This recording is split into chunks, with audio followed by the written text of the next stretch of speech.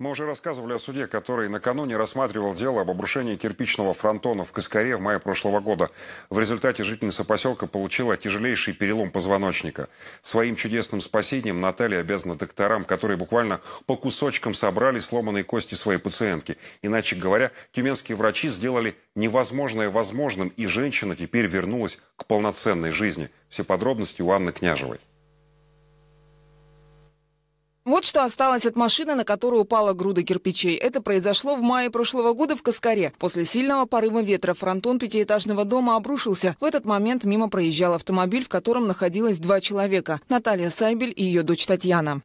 Мама сидела с переднего, то есть она сидела за рулем, я сидела с ней рядом. То есть буквально за секунду это все произошло. Я даже не успела оглянуться или что-то понять. Я когда уже вышла из машины, был вокруг песок, глаза резала.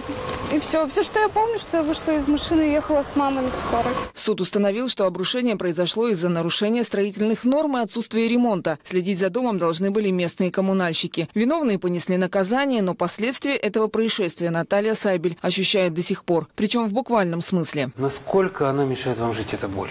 Она терпимая. Она... Вы можете спать. Сидя. Сидя. То есть лежа вы не можете спать. Александр Базаров – врач, которого Наталья считает одним из своих спасителей. Он провел операцию, после которой женщина научилась ходить заново. В нашу больницу поступает много пациентов с множественной сочетанной травмой. Но вот такая комбинация повреждений, она встречалась впервые. Дело в том, что у пациентки имелся перелом грудины и разрыв двух грудино-ключичных сочленений. По сути дела, э, даже на аппарате искусственной вентиляции легких у пациентки возникали свободные костные фрагменты, которые проваливались в грудную полость внутри грудной клетки и мешали нормальному дыханию. То, что Наталья вернулась к полноценной жизни, можно считать настоящим чудом, но произошло оно благодаря целой команде специалистов. Пациент, как правило, запоминает только одного доктора, который э, заканчивает свое лечение на последнем этапе, то есть которым непосредственно пациент, приходя в сознание, общается и ведет диалог.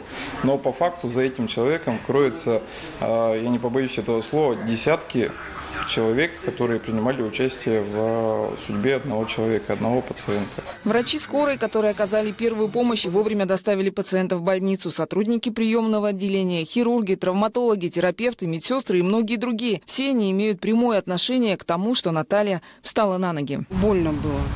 Очень больно. Ноги не слушались, были ватные. Страшно было на ноги вставать. Вообще очень страшно.